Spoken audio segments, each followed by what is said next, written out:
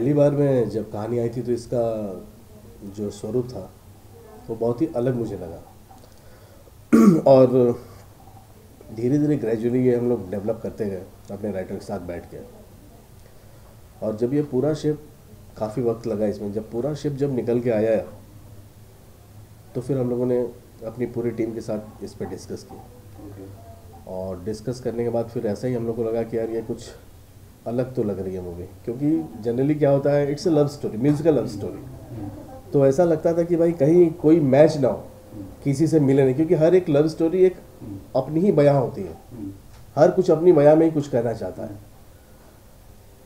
लेकिन जब पूरा शेप जब इसका बन के आया तो फिर हम लोग को लगा यार ये अच्छी है, चलो इस पर कुछ स्टार्ट करते हैं। ये बहुत अच्छा आपने, बहुत अच्छा प्रश्न किया ये। मेरा मानना है कि जो भी एक लव स्टोरी होती है उसकी एक अपनी एक अलग जर्नी होती है।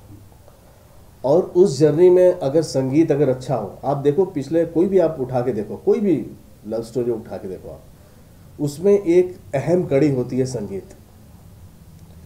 तो उस संगीत का एक अपना एक अलग ही मज़ा है। और इस फ़िल्म में भी हम लोगों ने पूरी कोशिश की है कि एक से एक बेहतरीन धुन दें। और बन भी पड़ा है बहुत अच्छा। और बहुत लोग को बहुत अच्छा रिस्पॉन्स मिल रहा है। बहुत लोगों को फ़ोन आते हैं यार, कब रिलीज़ है, कब गाने आ रहे हैं, कैसे हो रहा है? और जितने भी सिंगर्स हैं, उनसे भी बहुत ही अच्छा अपने को रिस्पॉन्स मिला। और देखो क्या है कि जो डायरेक्शन है ना, वो टोटली और टोटली सिर्फ़ एक डायरेक्टर का कन्विंस है। उस पर प्रोड्यूसर का कोई भी हक नहीं होता।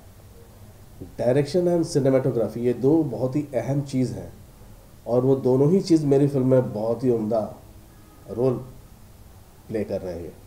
आप जैसे बोले कि हर एक फ़िल्म हर एक फ्रेम एक फ्रेम लगता है। जी। और जो फोटोग्राफी से रिलेटेड मेरी मूवी है तो हम लोगों ने यही कोशिश की थी अपनी टीम के साथ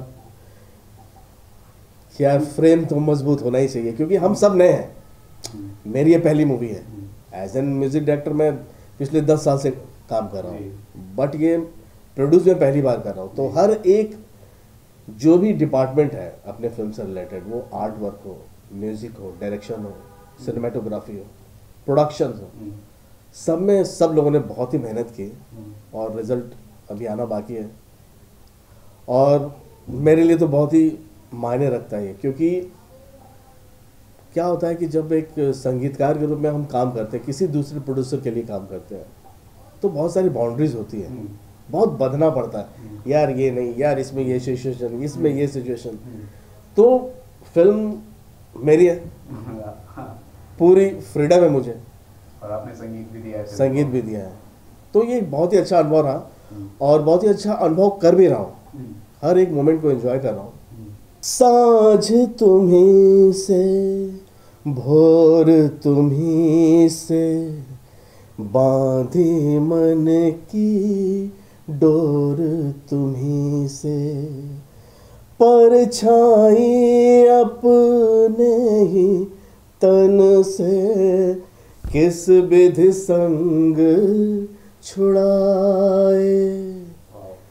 का देखूँ मैं चाँद प्यारे, तू जो नज़र ना आए। Thank ये लिरिक्स भी बहुत अच्छा है फ़िल्म का जैसे कि सांस तुम्ही से और भोर से आप कनेक्ट कर रहे हो। या या या ये लिरिक्स के बाद लिरिक्स बहुत ही उम्दा है और बहुत ही मेरे अज़ीज़ हैं। शेखर अस्तित्व। जी। उन्होंने इस गीत को लिखा है।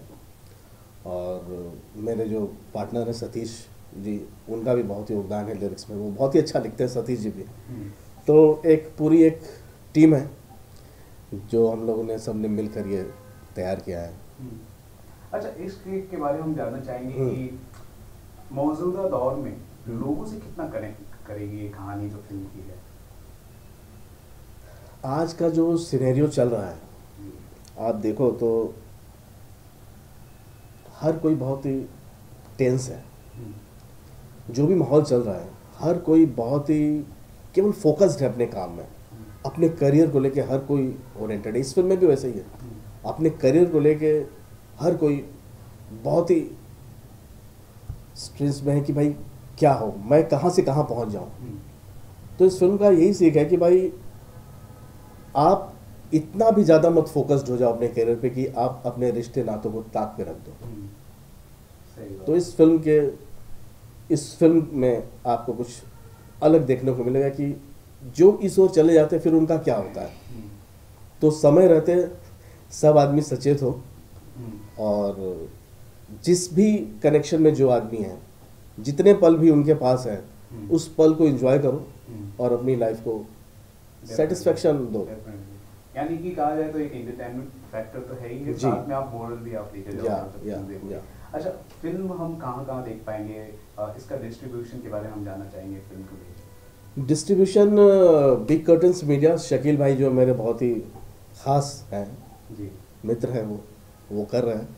और उन्होंने पूरी अपनी जान लगा दी इस फ़िल्म को रिलीज़ करने के लिए और वर्ल्ड वाइड वो रिलीज़ कर रहे हैं। हम्म, इसको हम Pakistan Australia Dubai London US सारे जगह इंडिया में जी। हर एक जगह पे इसको देख पाएँगे एक ही डेट पे देख पाएँगे। पीवीआर और जी जी म्यूज़िक कंपनी के साथ भी आपका खड़ा है हाँ। पीवीआर के साथ मेरा नहीं है आईनॉक्स के साथ मेरा कॉन्ट्रैक्ट है। आईनॉक्स कार्निवल और अपने सिनेपोलिस ये तीनों चेन मुझे बहुत सपोर्ट कर रहे हैं। हम्म। और ख़ास तौर पे जो लोकल डिस्ट्रीब्यूटर्स हैं वो बहुत सपोर्ट कर रहे हैं मुझे। ओके तो सिंगल थिएटर्स में भी फ़िल्म को हाँ सिंगल ऑब्वियस है। ओके। एक साथ सारे जगह पे आप फ़िल्म देख पाएँगे। आखिर में आप जनता से आप एक अपील कर दीजिए फ़िल्म को लेकर। प्लीज़ प्लीज़ प्लीज़ आप जाइए अपनी फैमिली के साथ जाइए और इस फ़िल्म को देखें। और मैं आपको ये डेफिनेटली ये श्योर करता हूँ कि इस फ़िल्म को देखने के बाद आप अपने साथ बहुत सारी अच्छी चीज़ें लेके जाएँगे। सर इस तरह नहीं थोड़ा म्यूजिकल अंदाज में आप का अंदाज में क्या? को खुदा होना ना दिल से जुदा। माना तुझी को खुदा होना ना दिल से जुदा। प्लीज़ जाइए अपनी फैमिली के साथ और इन्जॉय करिए।